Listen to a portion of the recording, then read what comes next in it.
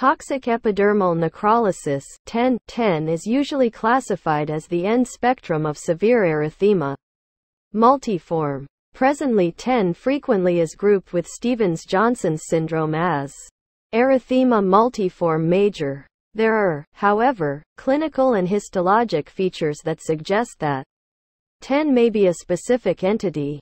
Clinically it has a rapid onset, is almost exclusively triggered by a drug intake, the most common being sulfonamides, nonsteroidal anti-inflammatory drugs and hydantoins. A rash may precede in which target lesions are sometimes seen. The typical manifestations include flaccid bulla that break easily leaving extensive denuded areas, on occasion, involving most of the body. In order to make a diagnosis of TEN, the area involved should be at least 10% of the corporal surface. There is separation of the epidermis from the dermis with production of a non-inflammatory, subepidermal bulla. The epidermis shows full thickness necrosis, manifested by loss of the tinctorial properties of the nuclei, which appear pale or eosinophilic, rather than basophilic, and occasionally become erased.